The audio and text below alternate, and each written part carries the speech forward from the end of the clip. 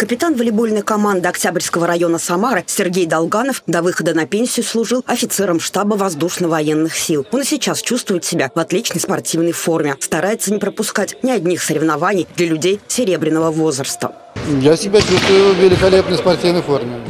Я успел здесь отстоять э, интересы Октябрьского района на забеге, а сейчас вот сразу переместился в зал. Будем здесь еще сражаться за интересы Октябрьского района. В эти выходные в Самаре прошли соревнования команда молодости нашей. По накалу страстей они не уступали соревнованиям высшей лиги. Каждый из девяти районов областного центра выставил свою команду. Всего участникам состязаний предложили испытать себя в четырех видах спорта. Настольном теннисе, легкой атлетике, волейболе и шахматах. Я очень люблю шахматы, всю жизнь играю.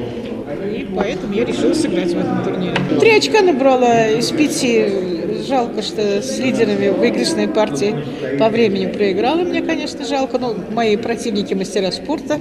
Знаю я их не первый год. Соревнования команда молодости нашей организует администрация Самары каждый год в октябре, когда отмечается День пожилого человека. Исключением стало только время пандемии. Несмотря на возраст, отбоя от желающих участвовать в спортивных состязаниях нет. Такие соревнования – это не только э, выявление сильнейших, это в первую очередь и общение, и Э, встречи между людьми преклонного возраста. И э, яркий пример того, как продлить активное долголетие. Посмотрите, с каким азартом, с какой страстью, с какой жаждой победы участвуют участники соревнований.